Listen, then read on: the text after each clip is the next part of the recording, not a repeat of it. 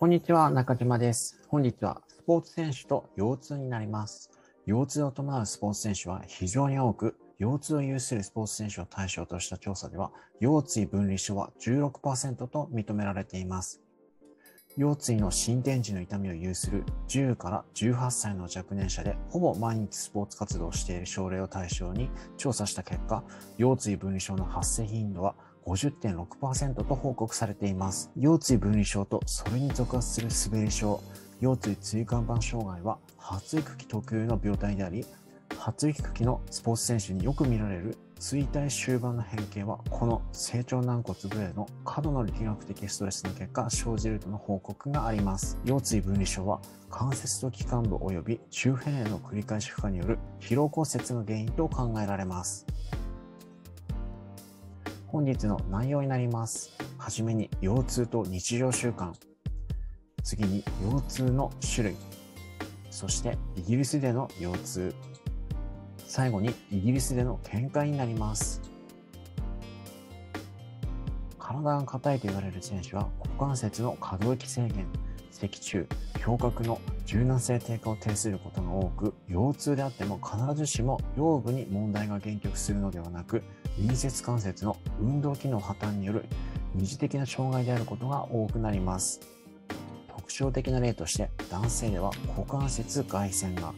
女性では股関節内旋が優位になり、反対に男性では股関節内旋、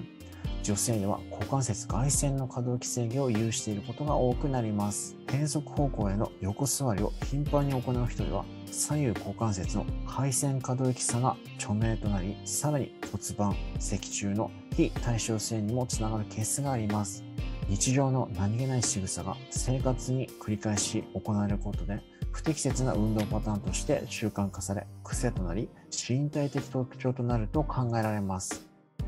この時に神経コントロールシステムまで習慣化されるケースもあります。スポーツ競技においても特有の運動様式から身体的特徴が現れます。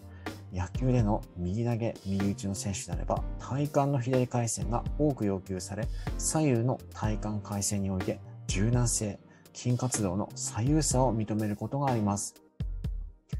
トラック競技などで左方向ばかりの練習を行っていると体幹の左回線、右股関節外旋、左股関節内旋が優位になり、右前鋸筋から右外腹斜筋が硬くなり、胸郭の回線可動域にも影響を及ぼすことがあり、カップリングモーションとして腰椎下部の側骨も生じ、繰り返し行われる反復動作にて動きの偏りが生じ、そのために純粋なソックスを行っているようでも回線を伴っており、運動軸が変異していることが多くなっています。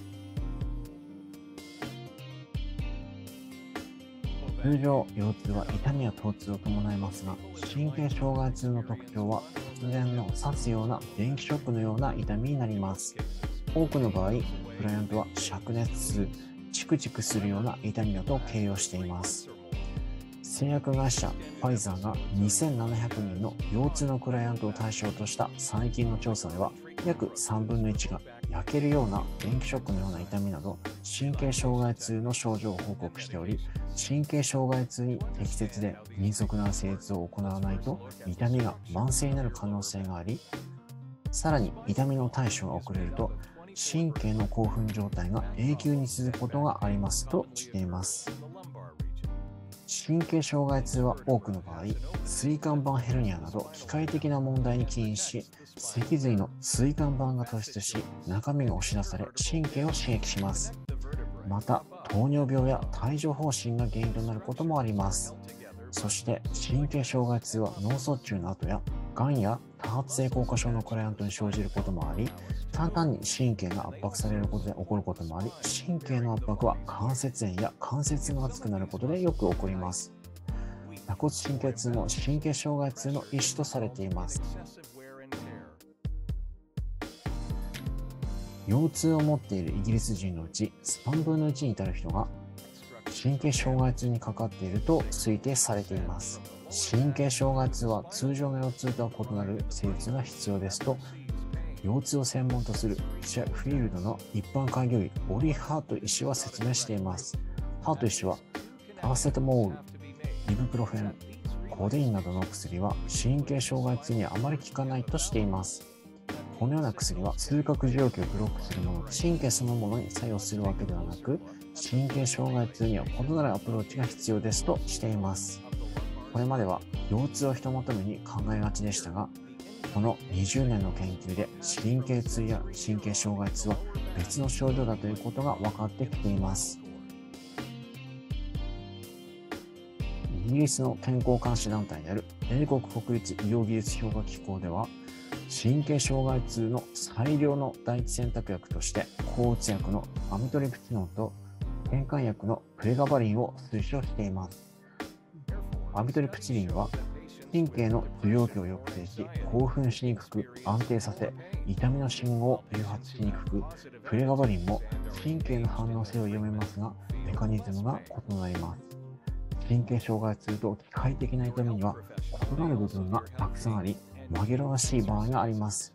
人工関節置換術後には機械的な痛みを感じる人は関節の周りの組織の神経の損傷がある可能性があることも研究で分かりました。高血圧の性質のように腰痛の様々な要素を成立するためには鎮痛剤などの薬を合わせて使うことが必要になるとされています。本日は以上になります。ご視聴ありがとうございました。